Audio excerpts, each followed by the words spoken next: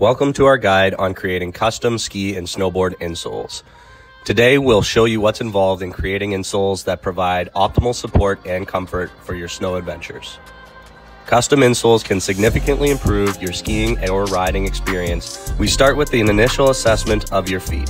We will determine the arch type, high, medium, or low, and examine the overall shape and size of your feet.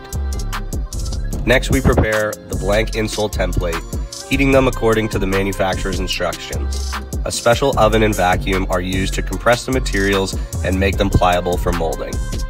We will have you place your feet lightly on the pads, distributing their weight evenly.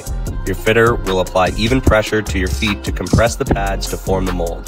This step is crucial for the insoles to conform to the unique shape of your feet. Once heated, we fit the insoles to the newly created molds and position your feet on the heated insoles, ensuring proper alignment. Hold this position for the recommended molding time, usually around 5 to 6 minutes. After molding, allow the insoles to cool and set. Once cooled, apply the posting materials and grind them down to a neutral, symmetrical stance.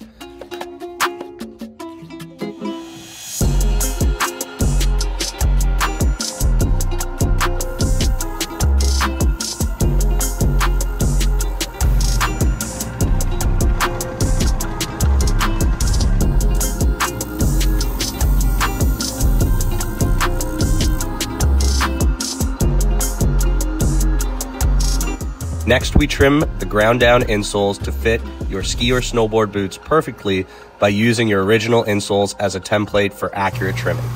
Insert the custom molded insoles into the ski or snowboard boots and ensure a snug fit.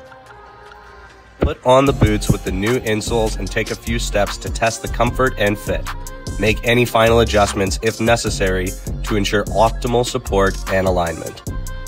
To maintain the integrity of your custom insoles, remove them from the boots after each use to dry.